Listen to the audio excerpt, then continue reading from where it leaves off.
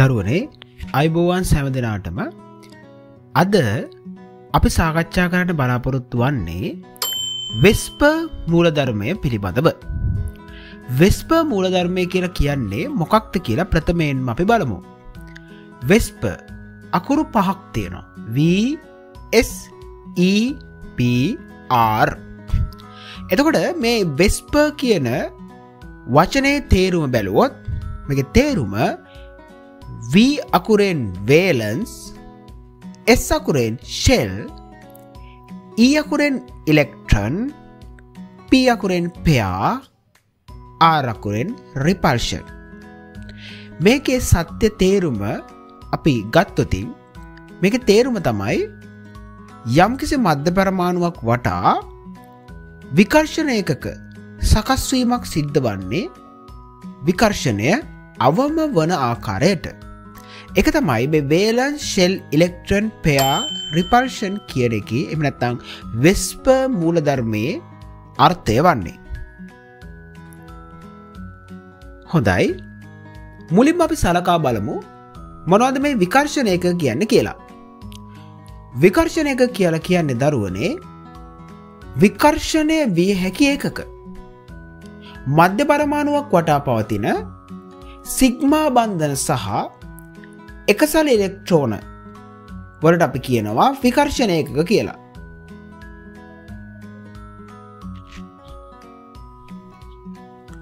හොඳයි. මධ්‍ය පරමාණුවක් වටා පවතින මුළු විකර්ශණයක ගණන සමාන වෙනවා බන්ධන ගණන ඇත්තනම සිග්මා බන්ධන ගණන සහ එකසර ඉලෙක්ට්‍රෝන යුගල සංඛ්‍යාවෙහි එකතුවට. අපි මුලින්ම මධ්‍ය පරමාණුවක් වටා විකර්ශණයක දෙකක් පවතින අවස්ථාව සලකමු. විකර්ශණයක දෙකක් විදිහට අර්ථ ගන්නවන්නේ බන්ධන දෙකක් සහ එකසර යුගල් බින්දුවක්. බන්ධන දෙකක් සහ එකසර යුගල් නොමැති අවස්ථාවකදී ඔබට දැන් දිස් වෙනවා මධ්‍ය පරමාණු වටා විකර්ශණය අවම් වන ආකාරයට බන්ධන සකස් වී ඇති ආකාරය. එතවට මේ තියෙන්නේ බන්ධනය එක මේ තියෙන්නේ බන්ධනය දෙක. එතකොට හැඩය රේකීය හැඩයක් විකර්ශණයක ජාමිතයත් රේකීයයි කෝනය අංශක එකසිය අසුවකින් තමයි විකර්ශණ ඒකක සකස් වෙලා තියෙන්නේ.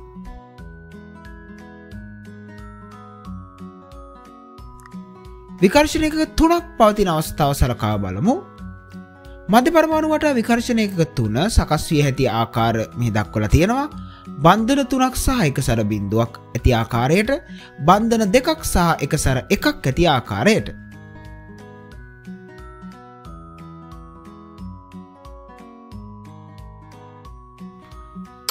මේ තියෙන මධ්‍ය පරමාණුව ඔබට පේනවා මධ්‍ය පරමාණු වටා මේ ආකාරයට බන්ධන තුන සකස් වෙනවා.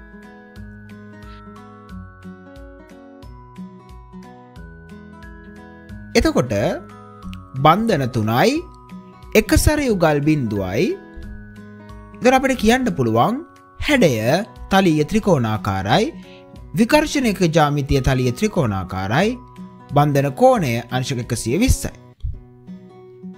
හොඳයි. දෙවැනි අවස්ථාවත් මෙහි ඔබට දක්වල තියෙනවා. මධ්‍ය පරමාණුව වටා බන්ධන යුගලක් සහ එකසර ඉලෙක්ට්‍රෝනයක්. එතකොට හැඩය බන්ධන හැඩය කෝනික ස්වරූපයක් දිස්වෙනවා මෙයාකාරයට එකසැරි යුගලින් බන්ධන යුගල පහලට තල්ලු කිරීම නිසා බන්ධන කෝණය එකසේ විස්සට වඩා අඩු වෙනවා විකර්ශණයක ජාමිතිය තලිය ත්‍රිකෝණාකාරයි හොඳයි. විකර්ශණ එකක හතරක් පවතින අවස්ථාව සලකමු. විකර්ශණ එකක හතර සකස් වී හැකි ආකාර මෙහි දක්වා තියෙනවා. බන්ධන හතරක් එක සර යුගල් බින්දුවක් බන්ධන තුනක් එක සර එකක් බන්ධන දෙකක් එක සර දෙකක්. දැන් මෙම ග්‍රෆික් සටහනය ඔබට පෙන්න්නනවා බන්ධන හතරක් පවතින අවස්ථාව. එවිට හැඩය චතුස්තලයේ හැඩයක් විකර්ශණයක ජාමිත්‍යයක් චතුස්තලයයි බන්ධන කෝණය අංශක එකසිය නමයයි දශම පහක කෝණයක් තමයි පේන්නේ. මෙහි ඔබට දක්වා තිබෙනවා දෙවනි අවස්ථාව බන්ධන තුනක් සහ එකසර යුගලක් හැඩය ත්‍රිකෝණාකාර පිරමිඩාකාරයි විකර්ශණයක ජාමිතිය චතුස්ථලීයමයි මේ ආකාරයට පහලට එකසර ඉලෙක්ට්‍රෝනවලින් තල්ලු කරන නිසා බන්ධනය කෝණය එකසිය නමය දශම් පහට වඩා කුඩා වෙනවා.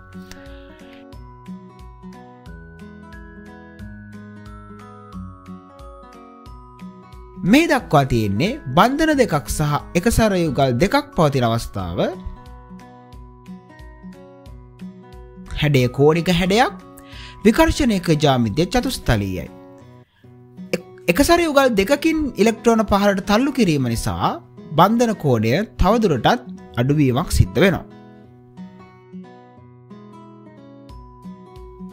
දැන් අපි විකර්ශණයක පහක් ඇති අවස්ථාව සලකා බලමු විකර්ශණයක පහක් ඇති අවස්ථාව පහත ආකාරයට අපිට වර්ගීකරණය කරන්න පුළුවන්. බන්ධන පහක් සහ එක සර බින්දුවක් බන්ධන හතරක් සහ එකසර ඉලෙක්ට්‍රෝනය ගල් එකක්. බන්ධන තුනක් සහ එකසර ඉලෙක්ට්‍රෝන යුගල් දෙකක්.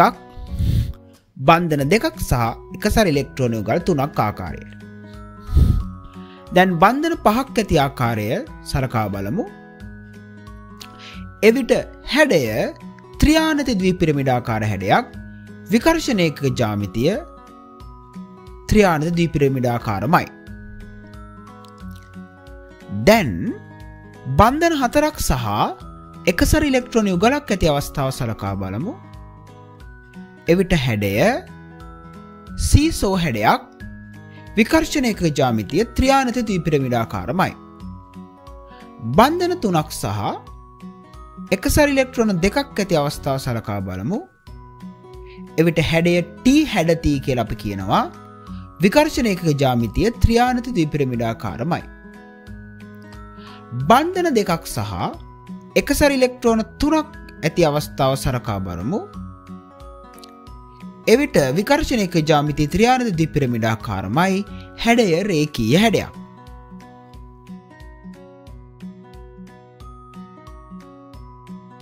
විකර්ශණයක හයක් පවතින අවස්ථාවට මීළඟට අපි යොමුුවනවා විකර්ශණයක හය සකස් වන ආකාරය මෙම ස්වරූපෝලින් අපිට බලාගන්න පුළුවන්.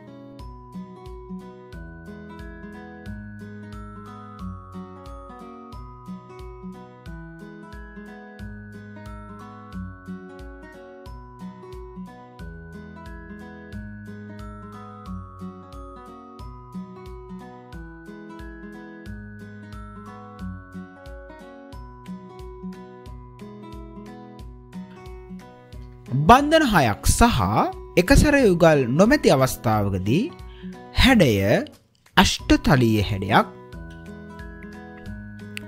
විකර්ශණයක ජාමිතිය අෂ්ටතලීයමයි එවිට බන්ධන කෝන මෙම ග්‍රෆික් සටහනේ ආකාරයට පැහැදිලිව බලාගන්න පුළුවන්. අපි යොමුුවමු බන්ධන පහක් සහ එකසර යුගල් එකක් ඇති අවස්ථාවට එවිට හැඩය සමචතුරශ්‍රාකාර පිරමිඩාකාරයි. විකර්ශණයක ජාමිතිය අෂ්ට තලීයයි. අපි ඊළඟ අවස්ථාවට යොමුයමු බන්ධන හතරක් සහ එකසර ඉලෙක්ට්‍රොනිය ගල් දෙකක් ඇති අවස්ථාව. එවිට හැඩය තලීය සමචතුරශ්‍රාකාරයි විකර්ශණයක ජාමිතිය අෂ්ට තලීය ජාමිතිය හොඳයි. අප යොමුයමු බන්ධන තුනක් සහ එකසර ඉලෙක්ට්‍රොනිය ගල් තුනක් ඇති අවස්ථාවට එවිට බන්ධන හැඩය ටී හැඩදී විකර්ශණයක ජාමිතිය අෂ්ට තලයයි.